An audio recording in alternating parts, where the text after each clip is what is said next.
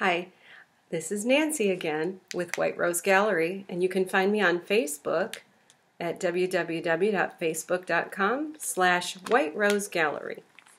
Thank you again for joining me, and I hope you had fun today on our making a canvas board out of a cereal box.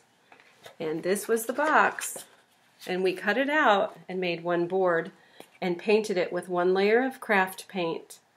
I can also take this remaining cardboard and make another panel. And if you had two cereal boxes, then you can make four panels and prepare them for the week if you are interested in making lots of paintings this week. So again, take the outside of your box. You get to reduce, reuse, and recycle this material and you don't have to go to the store and buy anything. You don't have to ask your parents to get you anything you can use what you already have at home. So you're doing the earth a big favor because it's not going in a trash dump. It's not going to a landfill, thank God. And there you are. So cut off the ends.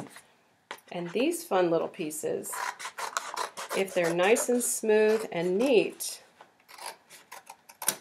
these, if they're real pretty like that, um, you can paint those and make a bookmark out of them. Okay. Well, I hope that this inspires you today to look around and find what craft and art project pieces you have. If you have some paint and a brush and a pencil and eraser, that's really all you need. So we went from this cardboard to painting a layer of paint with my craft paint right here and I just painted all across the board first. And while I let it dry, I set it down and let it dry for about five to ten minutes. And then, after it was dry, I basically took my pencil and you can go outside and explore nature and see something that you think is really beautiful and sit down and draw it while you're outside. That's called plein air painting and plein air drawing which a lot of the French artists did uh, during the late 1800s, and many of us still do that to this day. It's really great to draw and paint outdoors. So, this was what my board looked like. Again, I painted the craft paint on it in one layer, covered everything, let it sit for a few minutes and dry, and picked my subject, which in this case I had my rose in a vase and I had some hydrangeas in my other vase back there. And I'll show you those in just a second. Then I just drew the stems with two sides so that you make sure you're drawing not just one line but two. And then I drew my large shape for a beautiful hydrangea. And then in between that, I drew an iris. These grow in my yard, which are amazing. A friend gave me a couple bulbs to plant in the ground uh, in November, that was about five years ago, and I had one or two bulbs.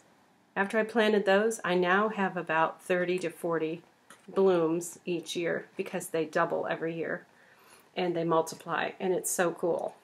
So, nature is amazing. God made it, and it's beautiful. I hope you enjoyed this lesson. I will show you my other flowers. And I do have some of these hydrangea like this in my yard. I do happen to have pink and blue, but I bought these white ones because I thought they were so pretty. Here are some more of the irises from my yard. They're starting to droop. They don't last very long inside, but I cut them and brought a couple of them in. And um, this is one from today back here. Oops, it's a little bit stuck. But I hope you can see that that beautiful purple, and it has one, two, three, four petals at least, actually maybe five. So you have to really observe mm, and stop and smell the roses and smell the flowers. So until next time, thank you for joining me. I hope you had fun in creating a way to celebrate Earth Day and to celebrate God's beautiful nature and spring that you can take cardboard and recycle it, making it a painting canvas for you to work on. Have a great day.